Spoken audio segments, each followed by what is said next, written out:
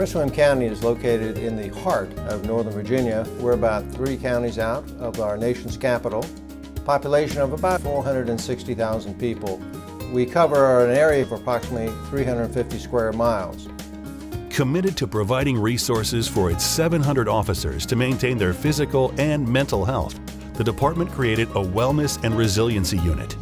It took a couple of different events to make this program happen. In the past four years, our department experienced two line of duty deaths, two officers that were critically shot, and four suicides. All of those suicides took place in the matter of a year and a half.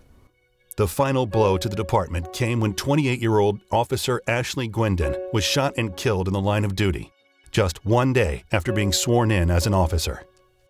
At that point, the department said, this is enough. We clearly need to do something for our officers and their wellness.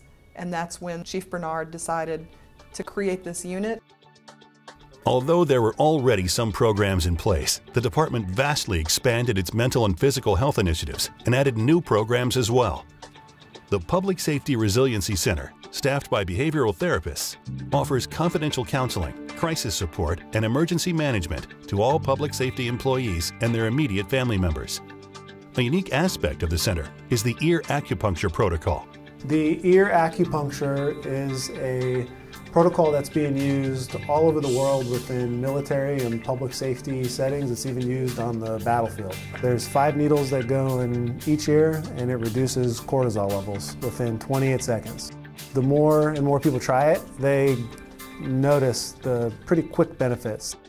A peer support team provides confidential assistance for officers who have experienced a traumatic event on or off duty. There has always been a stigma when it comes to mental health and law enforcement. And we've really tried to face that problem head on.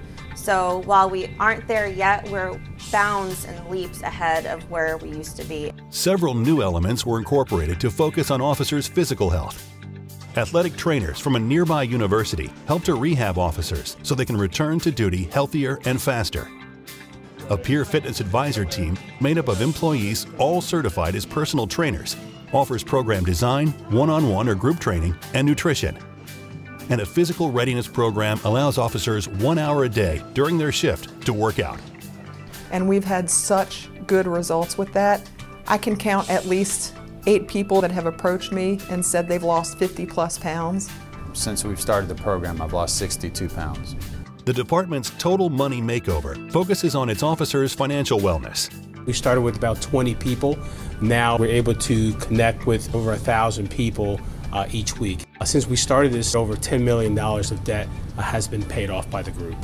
The Prince William County Police Department's wellness program also benefits the community. A healthy police officer will be an officer that's effective and will be an asset to our community. We're seeing a lot of really good results. My hope is that other agencies don't have to wait for those critical incidents to realize that this is important and can take some of the things that we've done and implement their own programs for their staff. The Prince William County Police Department is very proud to be the recipient of a Destination Zero award. But we also thank the many agencies across the country that are all doing great work and providing health and wellness to their police officers and their staff.